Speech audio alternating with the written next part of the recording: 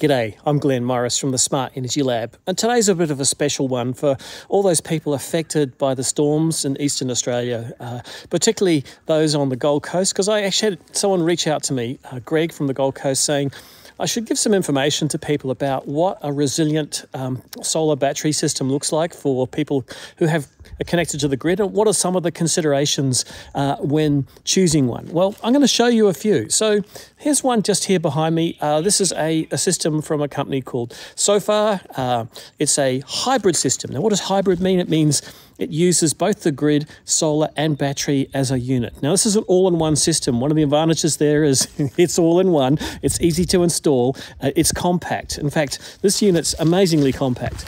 So, what are some of the considerations when choosing a um, hybrid system or a battery backup system? Is really what you want it to do? Now, uh, there's going to be some essential things. Generally, people want lights, they want communication, uh, and they want food and water. And so those things are pretty critical. Now, many of the uh, hybrid systems have limited backup capability. Now, when I say limited, it might sound impressive. They might say, well, it's five kilowatts of backup. But a house can draw a lot more than five kilowatts of power, particularly if you've got air conditioning loads. So being able to have some circuits that are backed up while others are grid only is a good choice when choosing how to install one of these systems. So your installer should be able to segregate your switchboard to essential and non-essential loads and make sure that those non-essential loads don't include things like water heating, uh, uh, air conditioning, things that really aren't non-essential uh, compared to things like food, water, light and communication. So this is an all-in-one system from Sofar. Uh, the batteries in the bottom there, there's five kilowatt hours in each battery, so that gives you a total of 10 kilowatt hours. Now, what does that mean? Well, it depends on what you want to run. A, a, typical modern fridge that's quite efficient will use about one to two kilowatt hours per day. So this could run a fridge for, without any solar input at all, for something like, you know, five to 10 days, which is pretty impressive. But of course, there's other loads in a house.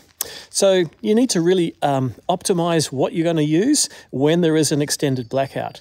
But one of the advantages of a hybrid system is it can charge its batteries from solar. And so if you've got a decent sized solar system, maybe you've got six or seven kilowatts of solar on the roof, and even after a storm, when the weather looks pretty crap and overcast, it will still charge your batteries uh, to some level. So you'll be getting renewable input uh, to recharge those batteries and really extend uh, the, the, the, um, the output of that system. So let's have a look at a couple more. So what we're looking at here is a combination of a three-phase hybrid inverter from a company called Fronius. This is their Symo Gen 24 and a battery system and it's a stackable battery so you can scale it up to different capacities depending on how big a battery system you need from BYD. So this is a combo. Um, it's still a hybrid system in the sense that uh, it can charge the battery from solar, it can charge it from the grid, it can support loads and it has backup. Uh, well, this is a three-phase inverter. Now, three-phase, don't get too excited. It's still only, it's a 10 kilowatt three-phase. It's only 3.3 kilowatts per phase. Now, most homes, most of the things you plug into a PowerPoint are single phase. Really, it's only some of those industrial level loads like big air conditioners that are three-phase or maybe an EV charger. So um, you've really only got 3.3 kilowatts per phase. So you've got to be a little bit careful when you choose what you're going to put on backup circuits. Now, the one of the special powers of the Fronius Gen 24 is it can actually provide backup without a battery. Now, don't get too excited now.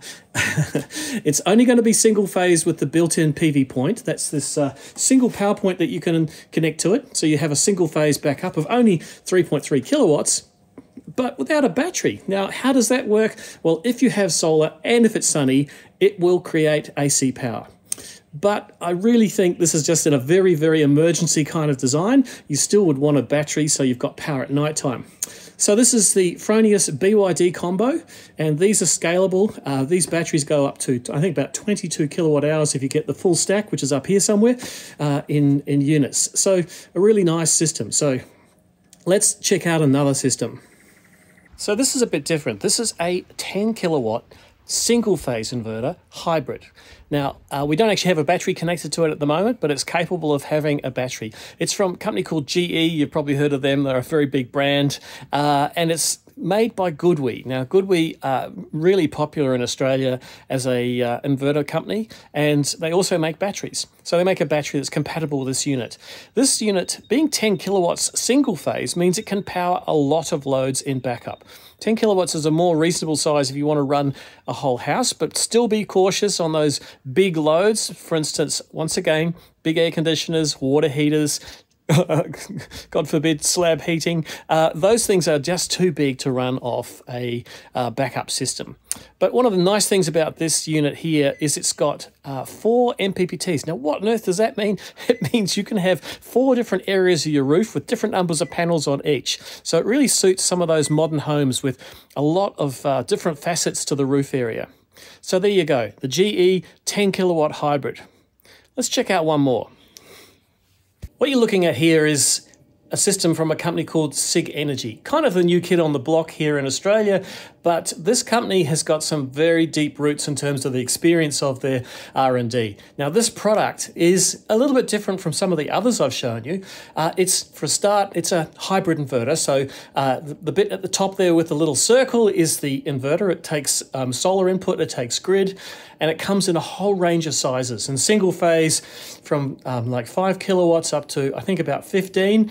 In three phase, from 5 kilowatts up to 25 kilowatts of power. So you can do quite big systems uh, with this unit. The batteries at the bottom are 8 kilowatt hours each, and that's pretty good. So I've got two of them, that's 16 kilowatt hours.